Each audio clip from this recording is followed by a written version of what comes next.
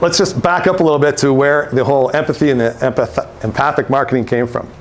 So in the 1990s, I worked as a paramedic, and in my last job, I was a helicopter paramedic. So what that meant is, I'd get up in the morning, I'd put on my costume, I'd fly through the sky, I'd land on the ground, I'd save somebody's life, and I would fly away. What is that the definition of? It's a superhero, right? I was a freaking superhero.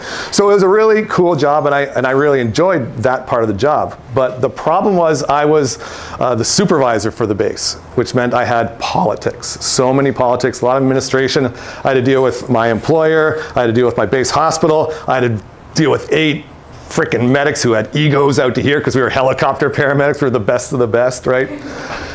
And so that was all really draining on me. And then on top of that, I have what I call a daytime body, which means at 10 p.m., my body shuts her down, right?